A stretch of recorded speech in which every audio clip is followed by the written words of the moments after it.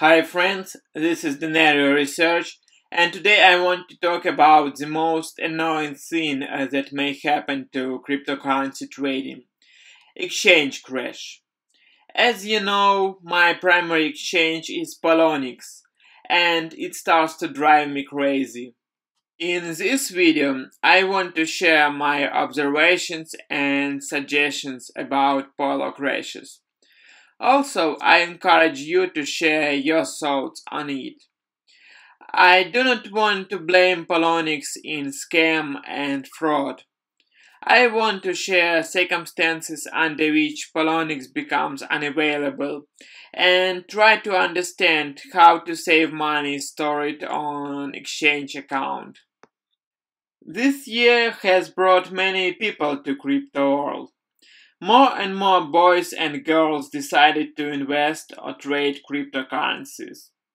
I remember times when Polo had less than 5,000 online users, and now it exceeds sometimes 50,000 users, excluding API traders like bots. Of course, IT infrastructure suffers under users' pressure. Sometimes you may see it when your action is lagging on Polo, like you are trying to place an order and placement delays. Actually, it is not a big deal if such things happen when you try to place a landing order or limit order on a spot exchange. But when such things happen uh, on a margin trading, that is a real shit. Margin trading was always dangerous and risky, even on stock exchanges or forex. Traders frequently overestimate their capabilities, overlook risk management principles, and take bigger leverage they can afford. Cryptocurrency world has made margin trading even riskier. It is a place where big leverage meets high volatility, but Polo has made this mix even more dangerous by adding lag. Let me give you an example. Assume that you have opened position. You are trading in range. You see that price bounces from support level and you have open long position. Your take profit is somewhere close to resistance level and stop loss is somewhere below support level but you can close your position only with a market order. And even your stop or loss order will be executed at market price. And now you are in the middle of huge price movement, like downtrend in our case. And price triggers your stop loss order and goes further, further, and further. Your stop loss order may be executed at price that differs by 20 or 30 percent from your actually expected stop loss price. So your order may be executed at this point, here, or even here. Or you may get a margin call and look at your account liquidation. Or even worse, you can lose access to Poloniex and observe this message.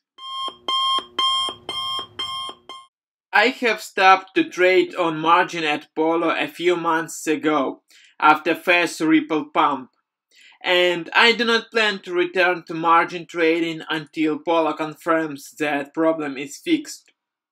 I recommend you also staying away from margin trading for some time if you want to save your money. And that is a total fuck when you can't even connect to exchange and see what is going on. To defend themselves, Poloniex has made this press release where they say that their infrastructure can't handle so many users. But problems started to happen not at 50k online users, like happened at 15k and 5k also. Who has created their infrastructure? Schoolboys after classes? I do not understand the problem.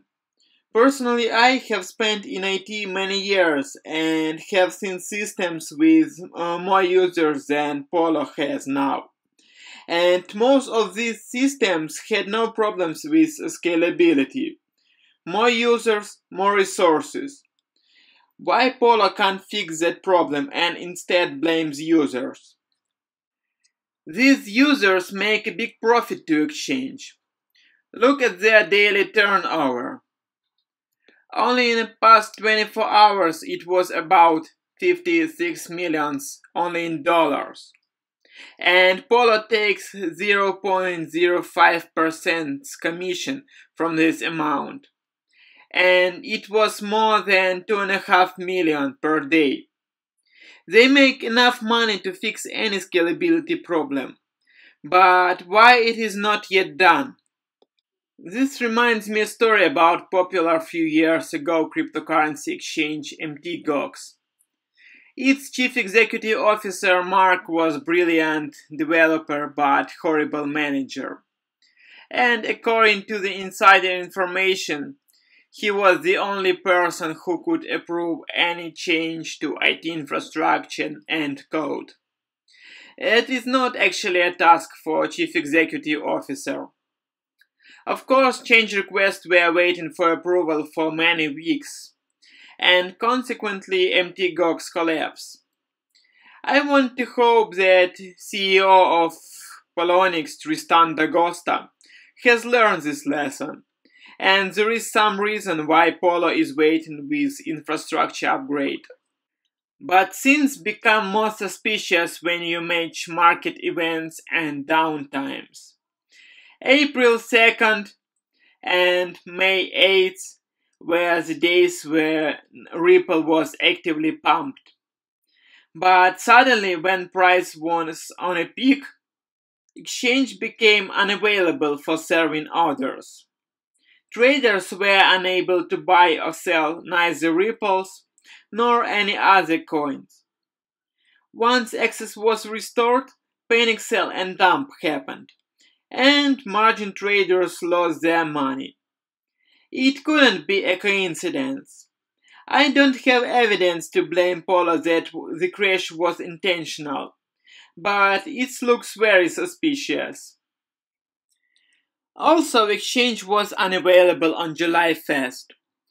Consequences were the same, but this case was among many when Polo said nothing about their outage like it never happened. Typically, you can see in their tweets messages about high user activity or DDoS attacks. But I don't think that their clients like such silence. If you have proofs of other Polo outages, please share this information in the comments to the video. Poloniex is one of the biggest cryptocurrency exchanges in the world by volume and list of pairs. They make millions per day. Polo is a legal entity in United States and it pays taxes.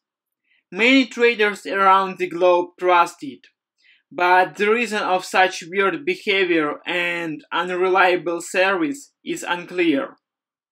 In this video, I have shown pieces of evidence of wrong Poloniex behavior that I have noticed by myself. I guess there are some other cases I am not aware of. If you want to share more information, comment this video. People must know if the exchange they trust turns into scam.